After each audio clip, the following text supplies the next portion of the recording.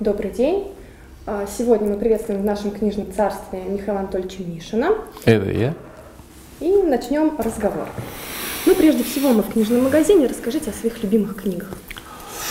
Ну, вообще вопрос такой, знаете что, ну, их вообще довольно много. Я недавно сделал эксперимент. Я довольно скептически относился, знаете, к аудиокнигам.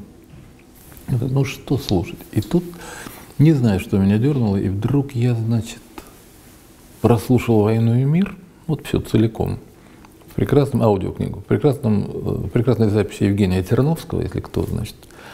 Я получил такое наслаждение, я просто, ну просто как столько услышал нового, то, что глазами, ну как уж все мы его перечитывали 100, 150 раз, и это вот чудесное мое последнее впечатление, если вы хотите, любимые книги последнего времени. Вот, э, ну я потом и, и Анну Каренину стал читать. В общем, короче говоря, как ни странно, я потом как-то себя спросил, а сколько вот книг, которые я открываю второй раз?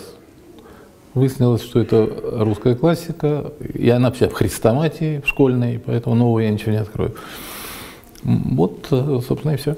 А если не секрет, сколько по времени заняло прослушивание аудиокниги? Да много, ну я думаю, до месяца, наверное. Ну я понемножку, я же там каждый день, ну так, но не, не делая одновременно что-то, потому что э, резать лук и слушать, ну можно, наверное, но как-то я сосредотачивался так на, на, где-то на часок вечерами, и просто вот, э, да, интересная штука получается. Обостряется чувство.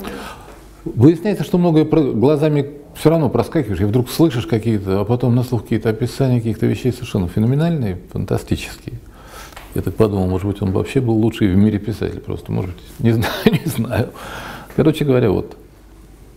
А, перед нами лежит книга, переведенная вами. А, расскажите, с какими трудностями или были вообще трудности, вы столкнулись в переводе Ну, Маркеса? это, значит, Маркес, Габриэль Гарсия Маркс «Хроника одной смерти, объявленной заранее». Это абсолютно в моей биографии такая отдельная история, потому что я вообще не профессиональный переводчик, и испанский когда-то сам учил. Но в свое время, много лет назад, уже лет 30, наверное, назад, там вообще в предисловии немножко объясняется, в чем тут дело. Вот я стал учить язык, и, и мне привезли эту книжку, я прочел ее уже на испанском уже был в состоянии к тому моменту. Я был абсолютно сражен. Ее еще тогда не было на русском языке у нас.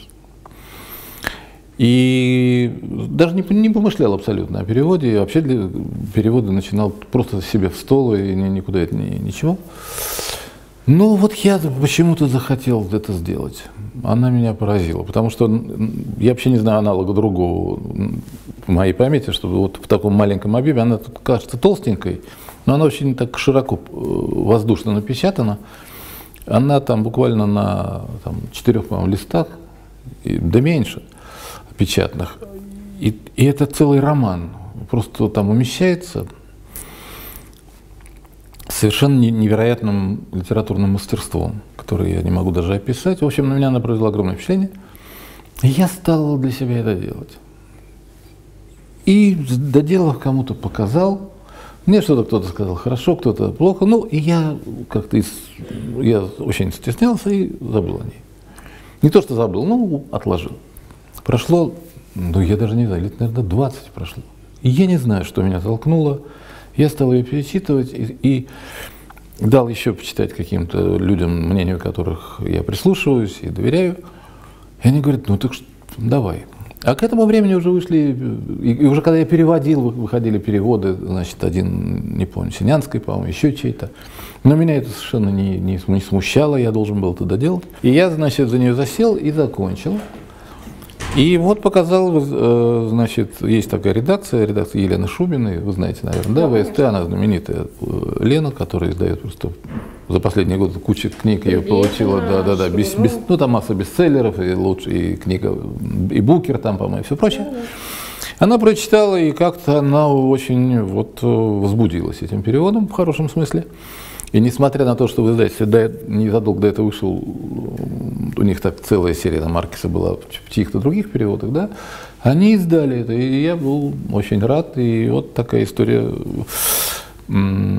произошла. Покажу еще раз. В, вашем магазине она есть? Конечно. Сейчас же все бегут и покупают эту вещь. Повесть блистательная, вне зависимости от моего вклада, значит, и все, что можно, я в нее как мог вложил. Вот, собственно. А, вы изучали сами испанский. Расскажите, может быть, несколько советов, э, как или, или нет, или здесь э, Какой совет? все индивидуально, как изучать? Абс- абсолютно ни- никакого совета. Я, я считаю, что по-настоящему, конечно, нужна база настоящая, нужно заканчивать и иметь базу. У меня этого не было. Так сложилась моя биография, просто что у меня был личный момент и был толчок, для который послужил к этому.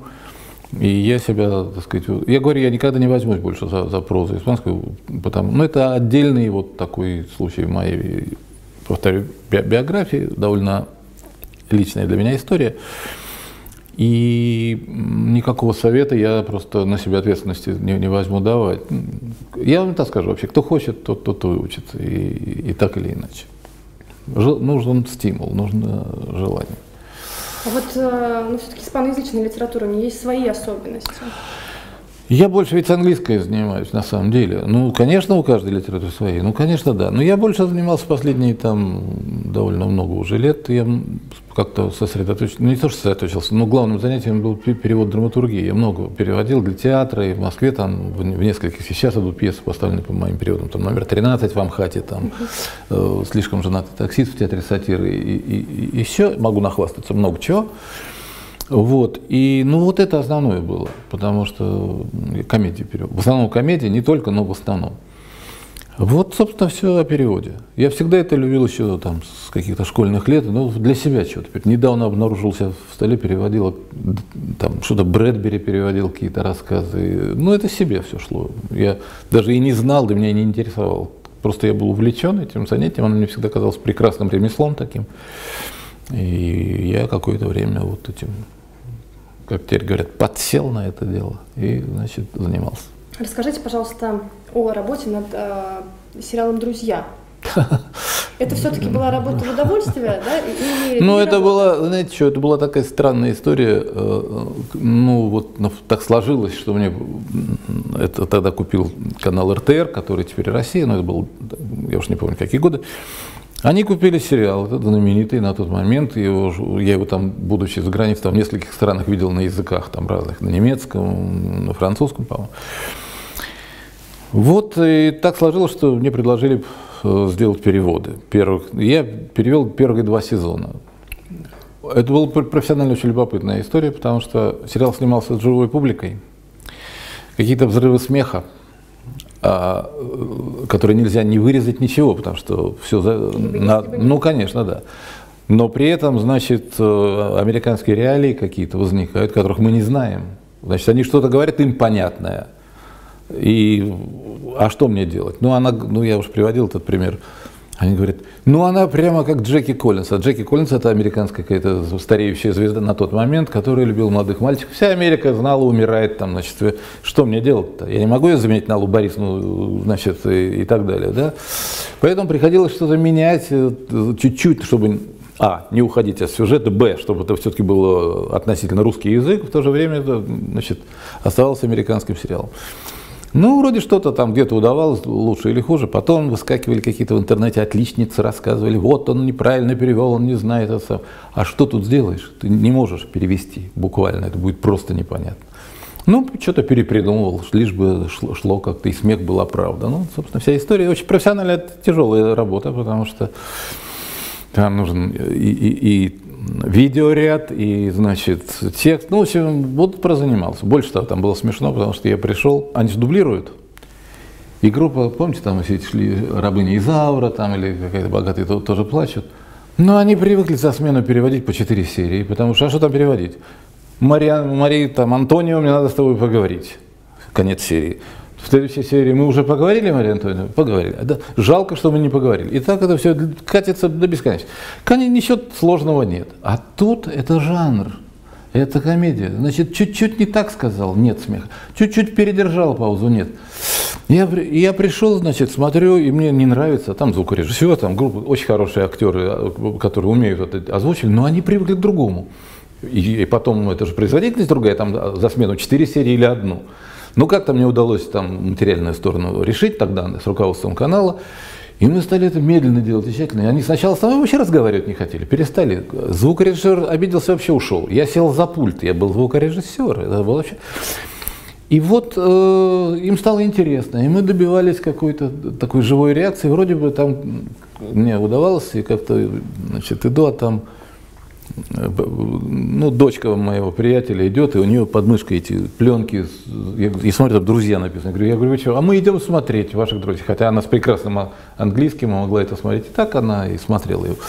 Так что было приятно. Ну вот первые два сезона мои. За остальное не отвечаю. Совсем скоро у нас будет чемпионат мира по футболу. Вы болельщик? Ну, так громко сейчас уже не скажу. Я же питерский, во-первых, и поэтому всю сознательную первую половину жизни я страдал за «Зенит». Когда он еще был таким, значит, «Зенитом» доморощенным, и выше там середины таблицы не поднимался, редко был бронзовый какой-то год, и когда-то он еще чуть не до рождения кубок взял.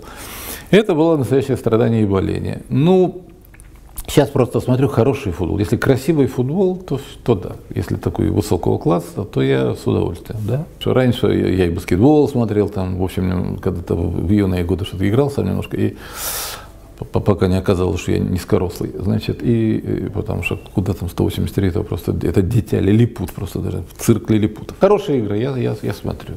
Да. А, в апреле ожидается несколько ваших творческих вечеров. Расскажите, вот. в каких городах, где, вот. куда прийти? Вот о чем мы сейчас поговорим. Да.